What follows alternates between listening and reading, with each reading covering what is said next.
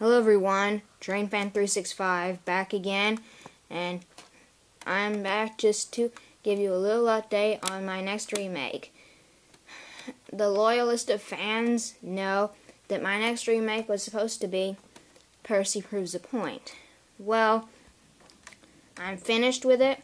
I've filmed it. It's done. But you see, we have one small problem right now. Um, our computer is down. It's been that way for several weeks now. That's why my lack of activity on my YouTube channel. But, um, so I do apologize for that, but our computer is down, and main computer is down anyway. And that's where my Thomas theme is, the one where I add it to the beginning of all my remakes. But, um, so that's what I wanted to say.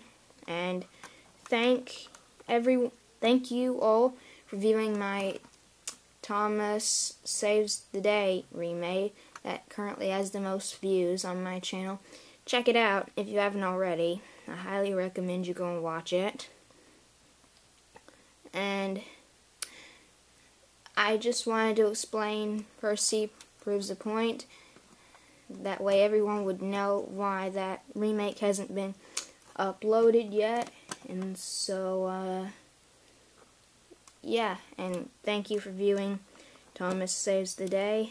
And, uh, so yeah, see you later. This has been TrainFan365, and I will upload Percy Proves the Point quick, as soon as possible, okay? But it might be a while longer, but until then, you'll just have to wait. So until then, this is TrainFan365 signing out.